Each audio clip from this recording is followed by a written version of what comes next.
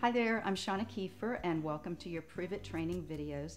Now the purpose of these videos is to educate you, to encourage you, and basically to help you over any speed bumps you might encounter on your way to better because this is a lifestyle change and you're probably going to need some advice as you go along. Now, you probably have your experience pack in your hot little hands right now. Maybe you've even tried one and decided on a favorite flavor, but I have a couple tips for you. For your very first serving, try just doing one half or even one third of a packet so you can see how the ketones feel on your stomach.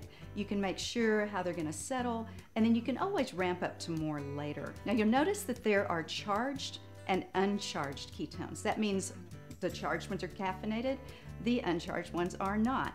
So you might want to consider that as to when to take which ones. If it's charged, I would aim for the morning hours, but you know your body best. If you're not affected by caffeine, take it when you want. Generally, I save the non-caffeinated samples for the afternoon.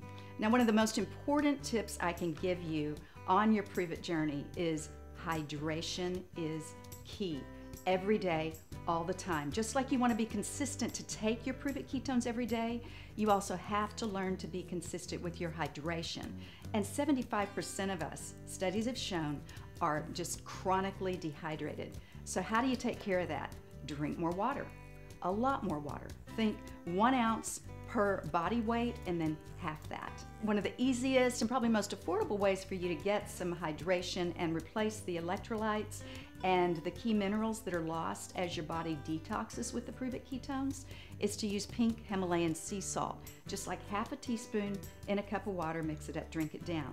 There are other electrolyte supplements out there as well. Just avoid those that have added sugar, chemicals, artificial colors, and flavors. We're avoiding all of that. As far as how to dilute your ketone packets, there's a suggestion on the back for how much water you would use. Just shake it up with ice water, stir it, or whatever.